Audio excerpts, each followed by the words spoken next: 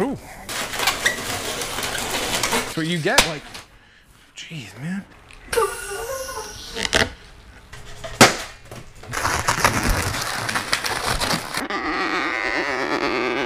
You do it like a slow hiss is like the worst thing. I can't. I when that happens, it's always always the worst.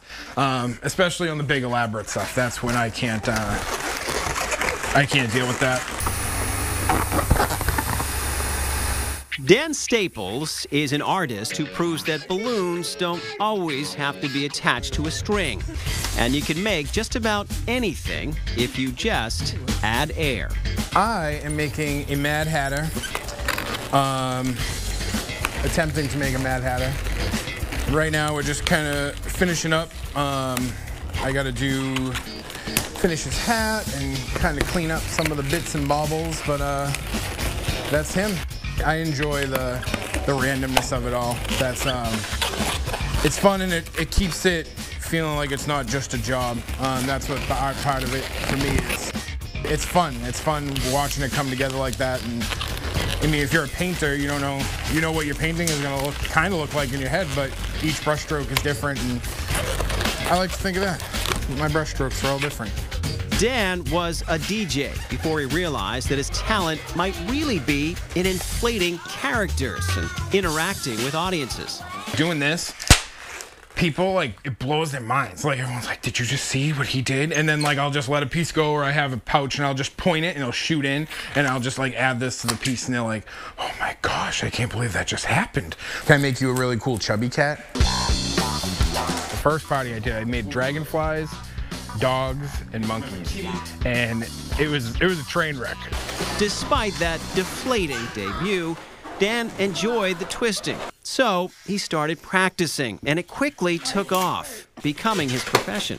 I grew up in south boston so it's like that is not a profession. Like you could be a hockey player or a cop or like a trash guy in a union or something. Like you just you know this isn't stuff that you do. The first thing i ever did was um, i made an et that um, it's an ET in a basket, and I like made it so I was wearing the bike, so it looks like I'm on like it was me and ET, and I'm like looking up at the moon. I'm most proud of it, and that's pretty much what helped me get everything that I'm getting now.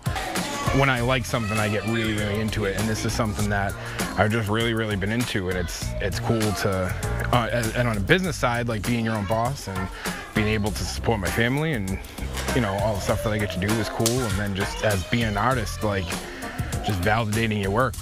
Dan soon set himself apart from other balloon twisters. I like doing big things like life-size stuff. I just did a bunch of stuff for Adult Swim. Um, they reached out to me and I made, I took pictures here. They were all like six-foot squids and crazy stuff. Um, so I, I like to, I like to diversify a little bit. It's the balloons aren't just for kids, and grown-ups are pretty much just like kids with money and responsibility. And imagination, I think, is like really key uh, in my tagline. That's balloons, imagination, and awesomeness. Because that's really, it's just balloons, and if you have imagination, then you get awesome things. Just being open to stuff. A lot of the stuff I learn when I go to events, I, I'll have a menu if there's a lot of people, but usually I'll be like, well, what do you want? I mean, if someone wants Batman eating soft serve riding a unicorn, we'll, we'll, go for it. They're not all touchdowns. Some of them, some of them miss the mark, but that's how I learn because then I'm like, no, I really, Batman's gonna eat some soft serve. I gotta make it right. And then I come home and that's that's what I do. That's what I practice is I just practice those designs and um, just having that willingness to try something different and step outside the box. His imagination brings him all over New England. Birthday parties, bachelorette getaways, corporate events. You can even find Dan at Gillette Stadium on most weekends, sculpting athletes out of latex. I've done um, Edelman, Gronk, Martellus Bennett, Jerod Mayo. Um, done a ton of Brady's. I've had a lot of like random, random, random things. Um, that and some actually some kid the other day asked me for a cinnamon stick, and I was like a cinnamon stick, and he goes with a face on it, and I was like, all right, yeah, we can do a cinnamon stick with a face, and I almost just drew a face on a balloon, but I like spiraled it, made it fancy, and he was like, that's pretty good cinnamon stick, and I was like, all right, there we go.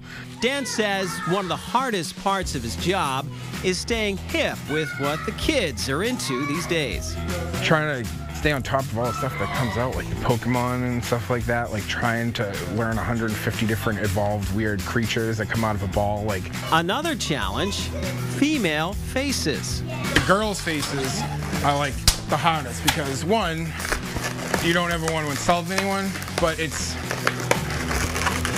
it's just so like they're just so like chunky. They just never translate well. Like, oh well, like she has like a sleek jawline. Like, no, it looks like that dude balloon that's right next to her. There's no difference. Dan says there is no doubt that he's found his calling, and his fans couldn't agree more. As an artist, um, because I feel like a lot of times people are like, oh no, you don't want to do art. Like you should be like an engineer or something, which is great. And you know, the world needs that, but the world needs ditch diggers too, and the world needs artists. And I think if you can kind of be yourself, people appreciate that a little bit more. You just want it to be like as awesome as it can be. This has got to be what like heart surgery feels like, because you're like, don't pop, don't pop, don't pop, and tr- trying not to mess up any of the little details. Wow. How fun! Look at the team. I know, that is so cool. Awesome. that right? Nice job. You, you give a kid a balloon dog and he's like, ah, and he pops it. But you make a kid an Elmo, he's like, oh, it's an Elmo. It's, it's a toy. It means a lot more to them. Um, it justifies waiting in the line. like it's just, it's a totally different experience. And I, I love it. I, I can't even think about looking back. Like just onward and upward.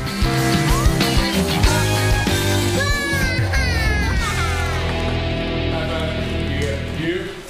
Big one?